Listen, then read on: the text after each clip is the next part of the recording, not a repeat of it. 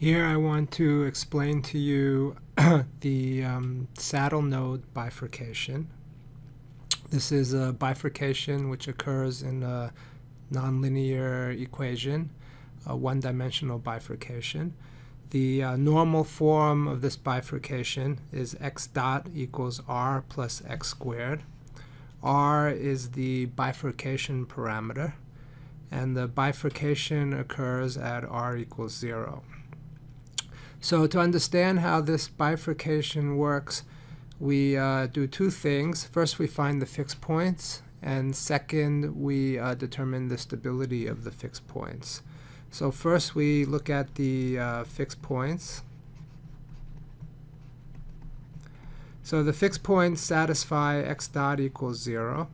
So we have r plus x squared equals 0 at the fixed points or x squared equals minus r. So x is equal to uh, plus or minus the square root of minus r. Okay? So what we see here is that the um, fixed points exist. So these are the two fixed points. So I'll say this is x star has two values. And uh, the fixed points will only exist when r is negative. When r becomes positive, you have the square root of a negative number, so the fixed points become imaginary. We're only looking for real fixed points. So um, fixed points exist only for negative r, so only for r negative or 0, less than or equal to 0. Okay, so that's the first point um, and then there are two fixed points. So then we can look at the uh, stability of the fixed points. So our right-hand side in the differential equation is r plus x squared. So this right-hand side f of x equals r plus x squared. And the stability depends on the derivative of the right-hand side, which is 2x. So the derivative at the uh, two fixed points, plus or minus root minus r, is equal to plus or minus 2 root minus r. And um, if f prime is negative, then it's stable. So we have uh, one of the fixed points, the, the lower one, which is minus root minus r, this one is uh, has a negative derivative, so this is stable. And the other fixed point, uh, x star equals plus root minus r. This one is unstable. Okay, so only exist for uh, r less than or equal to 0. Okay, so let's visualize what's going on with this um, bifurcation. So the bifurcation is occurring at r equal to 0. So we can graph, we can make three graphs here. Um, let me draw them. Here's the uh, first graph. Here's the second graph. And here's the third graph we're going to be graphing um, x dot versus x on each of these graphs.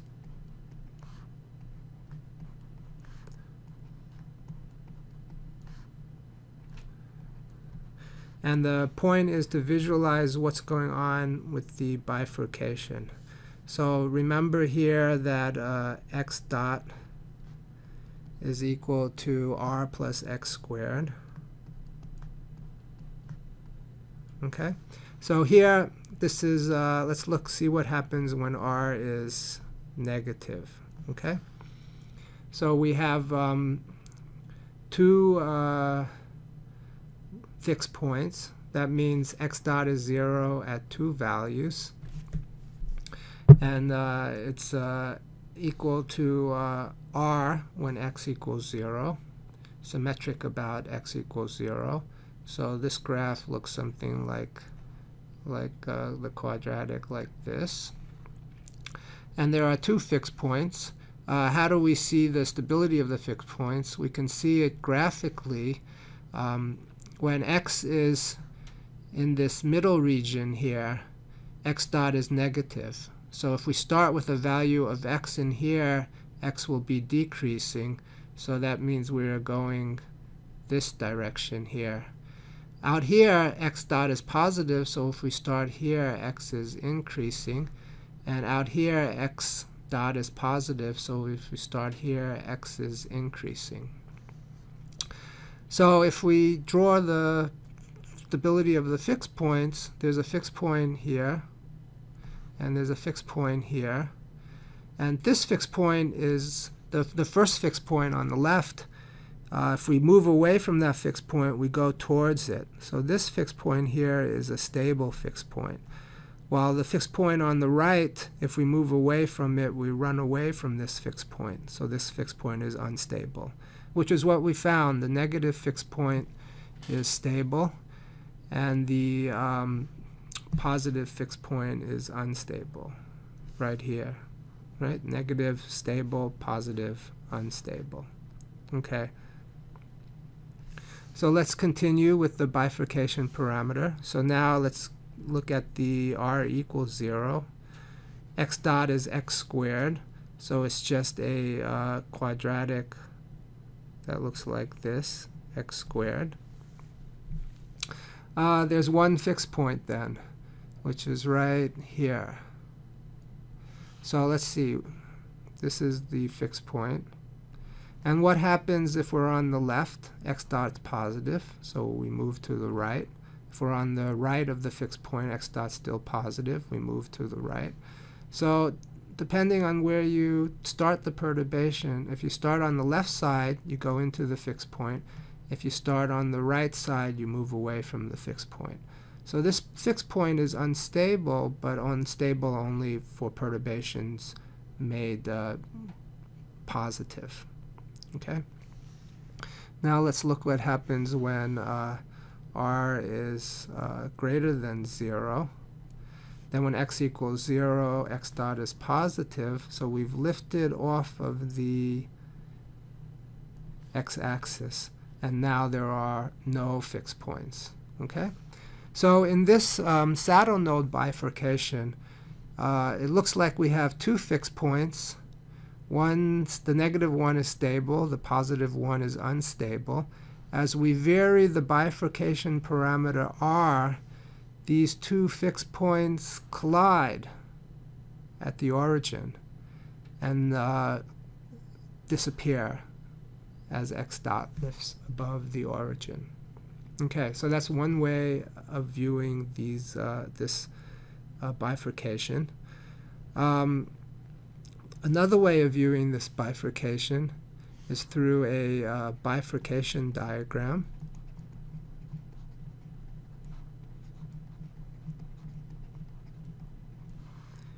And here, the plot that we make put it in the middle here.